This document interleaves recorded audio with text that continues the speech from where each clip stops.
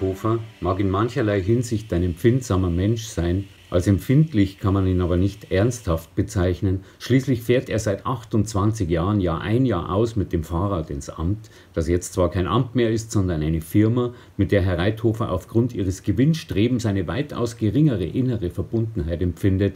aber dennoch weiterhin Jahr ein Jahr aus hinradelt, mag es regnen, schneien, hageln oder die Sonne vom Himmel brennen. Am Freitagabend hat Herr Reithofer im hinteren Bereich seiner Mundhöhle ein leichtes Raspeln verspürt und sich deshalb einige Male geräuspert und zu seiner Frau gesagt, das liege bestimmt an den Rauchern, die nun, da sie in Wirtshäusern und Kaschemmen nicht mehr dürften, hemmungslos den öffentlichen Raum vollpesteten und ihn zum Passivopfer ihrer gemeingefährlichen Sucht machten. Seine Frau hat kurz überlegt, ob ein Opfer nicht immer und grundsätzlich einigermaßen passiv sei, aber nichts weiter gesagt, weil sie ihren Mann kennt. Am Samstag hat Herr Reithofer beim Aufwachen festgestellt, dass er durch das linke Nasenloch keine Luft kriegt und den ganzen Vormittag auf die Autofahrer und ihren Dieselruß und Gummireifen Feinstaub geschimpft, den sie rücksichtslos wie eine Giftgaswolke über die Stadt legten, um den Teil der Bevölkerung auszurotten, der nicht in gefilterten Blechkabinen sitze. Als Herrn Reithofer am Samstagabend auch noch schwindlig geworden ist und er sich statt zum Stammtisch zu gehen aufs Sofa setzen und unter unablässigem Murren eine unerträgliche Fernsehsendung anschauen hat müssen, hat seine Frau seine Stirn berührt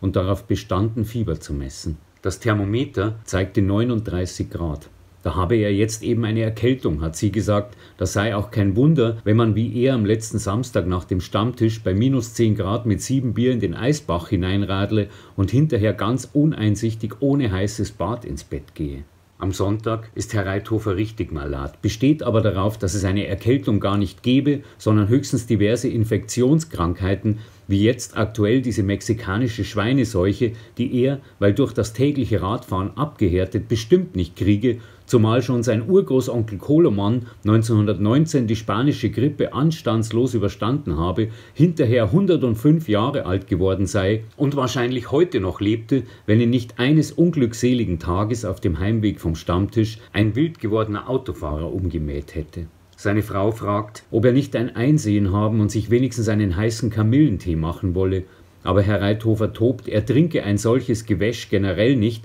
da gebe es nichts einzusehen, und eine sogenannte Erkältung könne man selbst dann nicht kriegen, wenn man sich vier Stunden ins Eiswasser lege. Zum Entsetzen seiner Frau lässt er, um seine These zu belegen, die Badewanne mit kaltem Wasser volllaufen, wirft zu allem Überfluss noch das tiefgefrorene Suppenhuhn für Montag dazu und legt sich hinein. Als er nach einer halben Stunde mit blauen Lippen, heftigem Schlottern am ganzen Körper und einem wenig überzeugenden Triumphgesicht dem Bad wieder entsteigt, ist das Fieber tatsächlich zurückgegangen, allerdings auf 35 Grad, was seine Frau erst recht alarmierend findet. Nun gibt Herr Reithofer endlich doch nach und sagt, dann werde er sich eben nach dem alten Rezept seiner Großtante Annie einen Grog bereiten. Als er den halben Liter heißen Rum mit etwas Tee und Honig verzehrt hat, geht es ihm zwar besser, bei dem Versuch, zu seinem sonntäglichen Nachmittagsspaziergang aufzubrechen, stürzt Herr Reithofer jedoch die Treppe hinunter, bleibt am Absatz liegen und kann, als ihn die alte Frau Reibeis in diesem Zustand findet,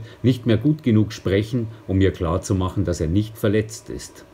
Am Mittwoch ist Herr Reithofer nach langem Schlaf und intensiver Pflege einigermaßen wiederhergestellt, beschließt aber, sich vorsorglich krank schreiben zu lassen und frühestens übernächste Woche wieder in die Arbeit zu fahren, weil man schließlich nie wisse, welche Art von Teufelsinfektion man sich da anhängen habe lassen und es ohne Zweifel unverantwortlich sei, vor lauter blindem Leistungseifer als todbringende Bazillenschleuder in der Gegend herumzulaufen und nichtsahnende Kollegen wie ihn in eine derart missliche Lage zu bringen. Frau Reithofer seufzt, schüttelt das Bett auf und schweigt.